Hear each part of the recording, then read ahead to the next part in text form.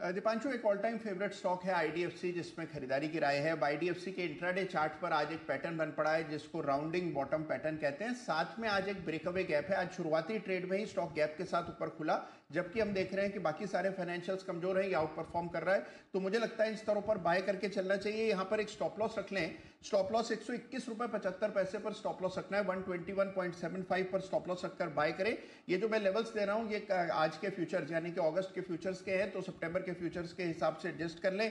एक सौ इक्कीस रुपए पचहत्तर पैसे के स्टॉप लॉस से बाय करें। पहला टारगेट होगा एक सौ छब्बीस रुपए का। इवेंचुअल टारगेट एक सौ उनतीस रुपए का खरीदारी की है आईडीएफसी आईडीएफसी पर खरीदारी करें। यह आपके लिए कुणाल जी की तरफ़ से राय आती हुई और स्टॉक